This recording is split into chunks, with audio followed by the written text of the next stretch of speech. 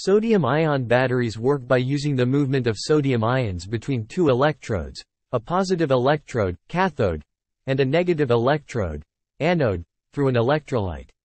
During charging, the battery is connected to a power source, and the movement of electrons in the external circuit causes the sodium ions to migrate from the cathode to the anode. At the same time, electrons are transferred from the cathode to the anode through the external circuit. The anode material is usually made of a material that can intercalate, i.e., insert and remove, sodium ions, such as graphite, while the cathode material is usually a metal oxide, such as sodium cobalt oxide, NaCO2.